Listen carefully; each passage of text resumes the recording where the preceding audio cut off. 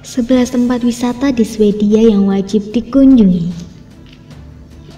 Swedia merupakan sebuah negara yang berbatasan tepat dengan Finlandia di timur laut dan Norwegia di sebelah barat.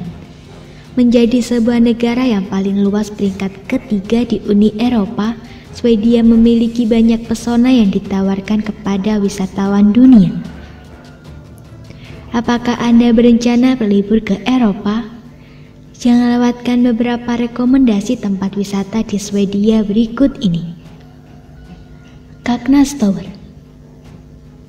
Stockholm sebagai ibu kota Swedia memiliki banyak objek wisata untuk disambangi termasuk Kaknas Tower yang merupakan sebuah menara dengan tinggi 170 meter sudah termasuk antena. Dulunya menara ini adalah menara pemancar radio dan TV dan bahkan sempat menjadi menara tertinggi yang bisa ditemukan di Skandinavia. Saat ini, para wisatawan bisa mengunjungi menara ini karena telah dibuka bagi umum sehingga para pengunjung akan mendapatkan pemandangan kota Stockholm secara 360 derajat. Para pengunjung bisa menikmati pemandangan tersebut dari pelataran yang letaknya ada di ketinggian kurang lebih 150 meter. Jangan khawatir, wisatawan pun bisa membeli oleh-oleh atau souvenir di kawasan ini karena ada sejumlah toko souvenir yang dapat disambangi. Ada juga beberapa restoran untuk memuaskan wisata kuliner Anda. Semoga sesampainya di sini, cuaca sedang cerah-cerahnya karena pemandangan kota yang terlihat bisa sampai 60 km jauhnya.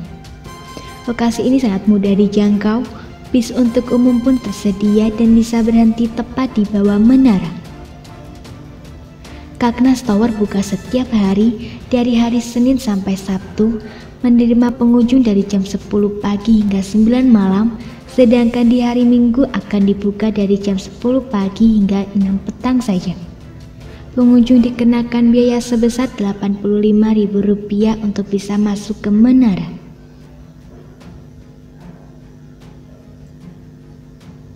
Miles Garden Lokasi wisata yang akan membuat wawasan Anda tentang seni makin bertambah adalah Miles Garden. Miles Garden sendiri adalah sebuah museum seni dan patung taman yang bisa dikunjungi di Pulau Lidingö yang tepat berada di ibu kota Swedia yaitu Stockholm.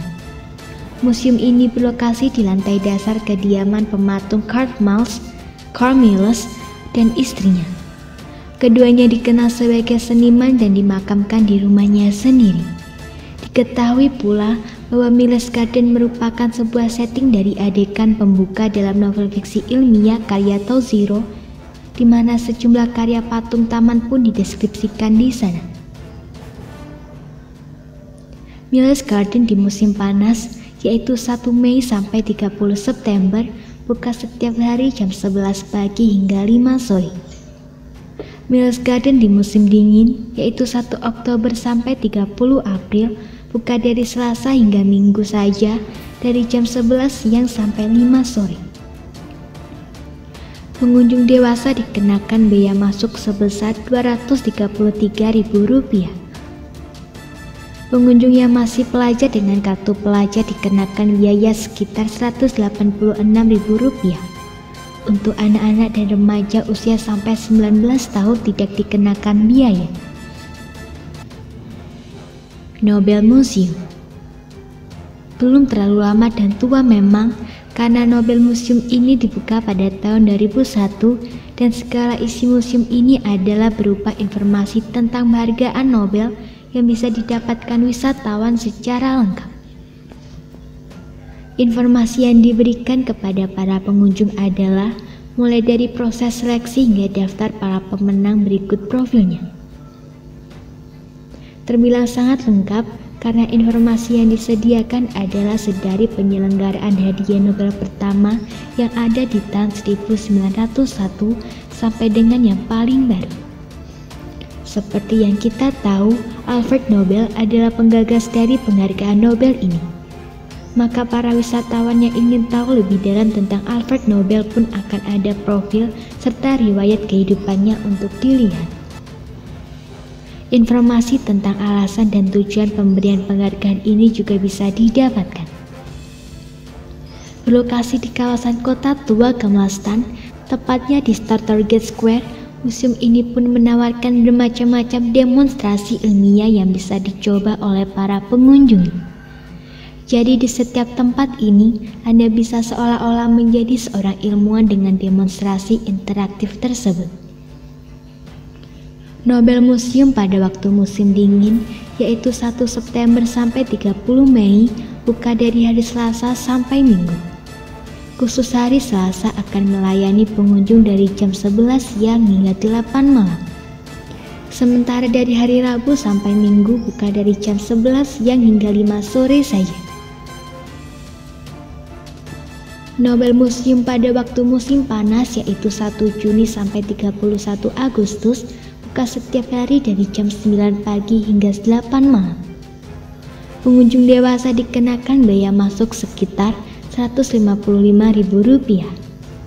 Pengunjung lansia berusia 65 tahun ke atas serta pelajar dikenakan biaya sekitar Rp109.000 pengunjung anak-anak di bawah 18 tahun tidak dikenakan biaya. Spesial di hari Selasa dari jam 5 sore sampai 8 malam tidak dikenakan biaya. Untuk penyewaan audio guide maka harus membayar lebih sekitar Rp31.000. Nordic Museum Museum lainnya akan menambah pengetahuan Anda sekalian selama di Swedia adalah Nordic Museum yang pembangunannya dilakukan pada tahun 1873 dan merupakan inisiatif dari Arthur Hazelius. Berada di pusat kota Stockholm, dulunya nama museum ini adalah The Scandinavian Ethnographic Collection tapi akhirnya nama tersebut diubah menjadi Nordic Museum di tahun 1880. Sesampainya di dalam, Anda akan menjumpai hall utama di mana sebuah patung raksasa pendiri Swedia, Raja Gustav Vasa diletakkan dan dipamerkan di sana.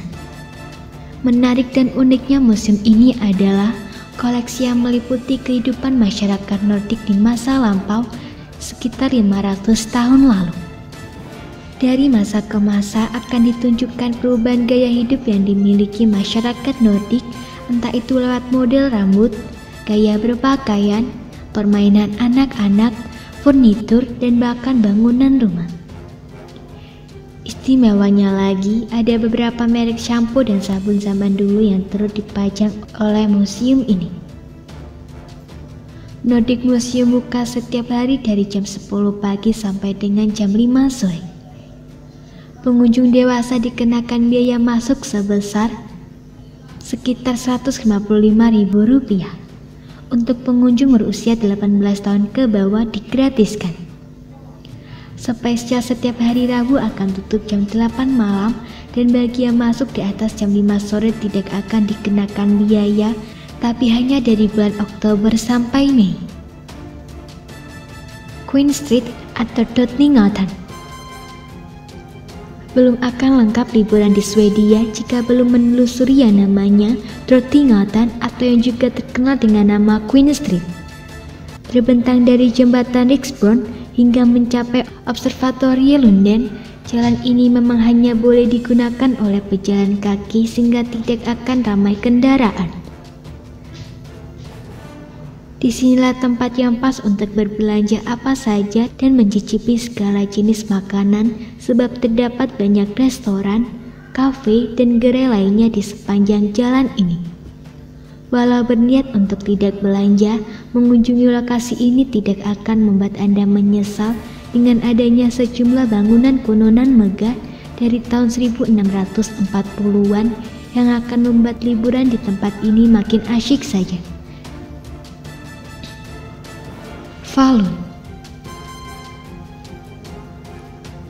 Destinasi liburan di Swedia yang juga tidak boleh terlewat adalah Falun yang dulunya didirikan di area pertambangan tembaga. Daerah pertambangan menjadi tempat wisata. Tambang bernama Great Copper Mountain ini sudah dianggap sebagai warisan dunia UNESCO dan sudah secara resmi terdaftar di tahun 2001 sehingga bagi Anda yang ingin berkunjung dan membutuhkan panduan akan tersedia pemandu resmi.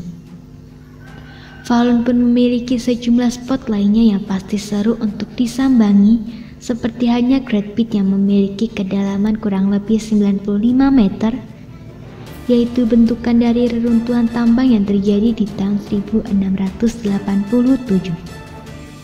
Walau yang paling terkenal adalah sejarah pertambangan Falun, para wisatawan juga diperbolehkan untuk sepuasnya menikmati berbagai event tradisional seperti contoh pertandingan ski Swedia, Palu Cruising, dan Palu Party yang dijamin seru. Kiruna Para wisatawan dengan jiwa petualang sejati boleh datang ke Kiruna yang merupakan sebuah spot liburan yang pas didatangi ketika musim dingin tiba. Aktivitas-aktivitas seru yang dapat dinikmati antara lain adalah bermain kereta anjing, papan salju, dan ski. Bahkan melompat dengan mobil salju serta memancing di es juga akan membuat liburan makin tidak terlupakan.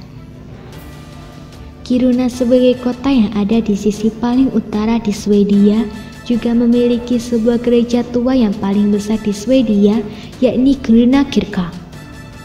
Bila datang tepat di bulan Juni dan Juli, maka akan ada cahaya matahari yang tidak akan putus-putusnya menyinari tempat ini.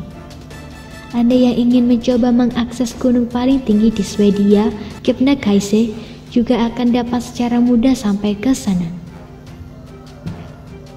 Juni Bacon Museum Berlibur bersama keluarga dan bingung mau mengajak anak-anak ke tempat liburan yang pas untuk mereka, Bacon Museum yang merupakan sebuah museum khusus untuk anak-anak ini adalah destinasi terbaik. Berada di Pulau Djurgården yang berada di tengah kota Stockholm, museum ini secara resmi dibuka di tahun 1996 oleh Swedish Royal Family dan menjadi museum yang paling sering dikunjungi turis di peringkat kelima di Stockholm. Museum ini dibangun dan didedikasikan untuk sastra anak Swedia, namun khususnya adalah bagi Astrid Lindgren. Juni Bacon Museum buka dari hari Selasa sampai dengan Minggu dari jam 10 pagi hingga 5 sore. Pengunjung dewasa dikenakan tarif sekitar Rp246.000, sementara pengunjung anak-anak dengan usia antara 2 hingga 15 tahun dikenakan biaya sekitar Rp215.000. Stockholm Police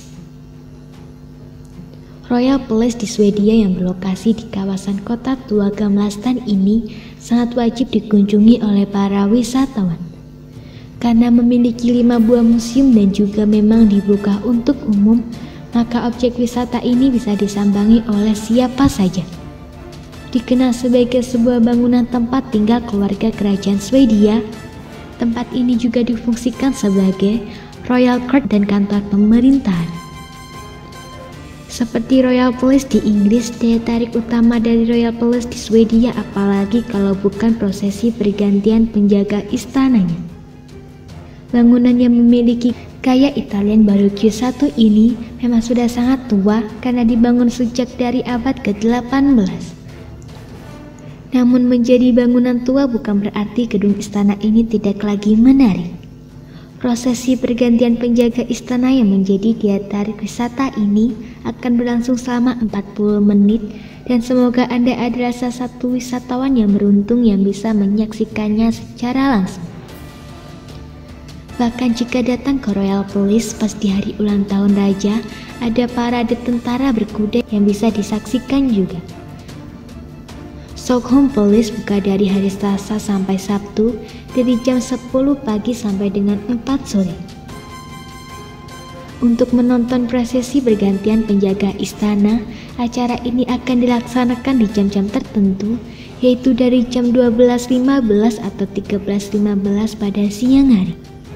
Namun hari dan bulannya tidaklah pasti.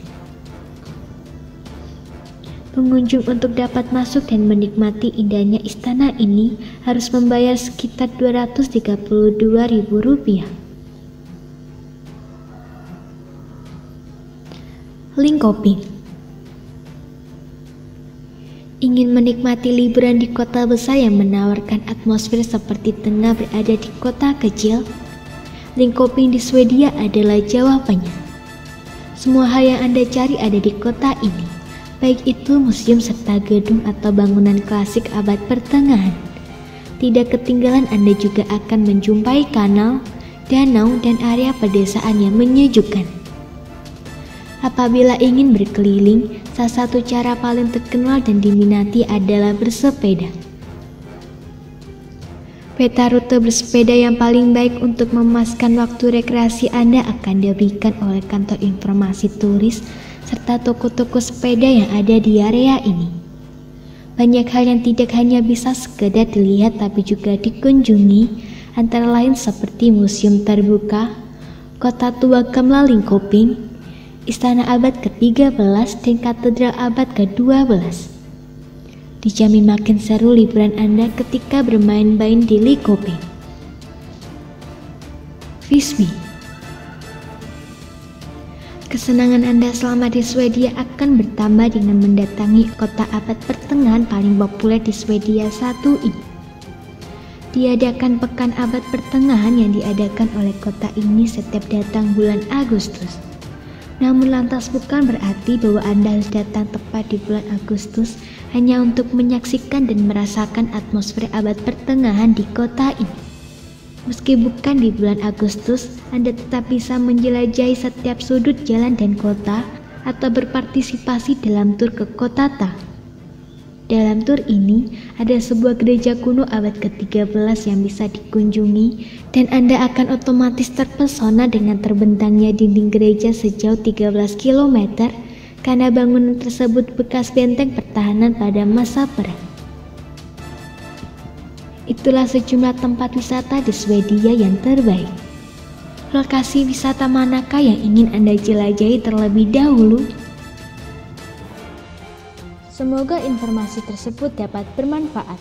Jangan lupa untuk klik subscribe untuk mengetahui video terbaru dari kami.